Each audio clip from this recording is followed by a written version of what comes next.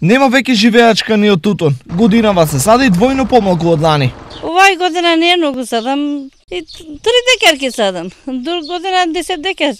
На тутунот и на екзистенцијата од него му пресудија ниската цена, односот на откупувачите, но и големите количини произведен, а не откупен тутун. Лани, во источниот регион се откупи околу 900 тони тутун, а се произведоа близу 1500. Што ќе се џабе? Нема вакво, нема нема доволно. Него нема го цената убаво. Така го земат без веза. Лани останаа тутуна, не зема лани. Останаа тутуна, не плати. Овај година продаваме само џаба. Џаба 50 динара, 45 динара килограм тутун.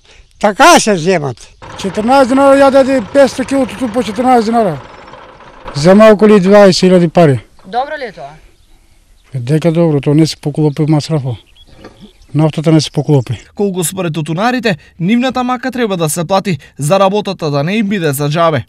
Најмалку 120 динара барем и да не, ќе земат нешто. По 180, по 160 надура треба да не биде. А они? А они што го да земаа по по, по 20 динара, по 40 динара, така го земаа. Инаку, по производство на тутун, источниот регион со просечни 838 тони тутун е четврти во државата.